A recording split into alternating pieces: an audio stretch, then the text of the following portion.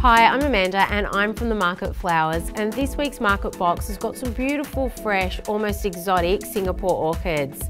We're going to try something a little bit different today. So we've got a fish bowl here and we're actually going to submerge the flowers on the inside of it. It's just for something a little bit different. So we're just going to start by putting some of these pebbles in the base. You don't have to put these in, but you know, why not? We've got them, so let's use them.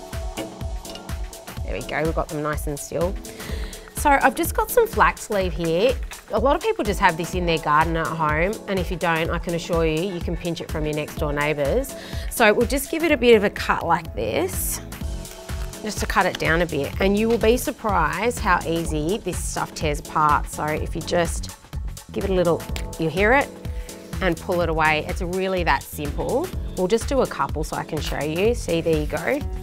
Now it gets these little furry bits, you just pull them back because you know they don't look very nice in the vase. And we just curl it around, pop it on the inside. Again, doesn't have to be any structured or particular way. It just sits in, it's really flexible. Here we go.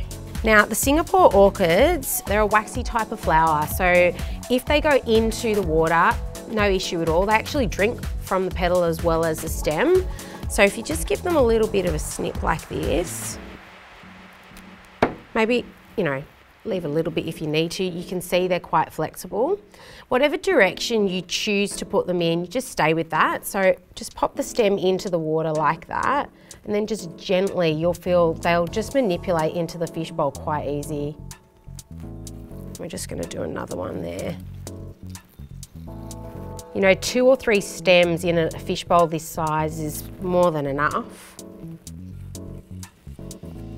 If you want to have that just sort of sticking out a little bit, you can, or you can just pop that in.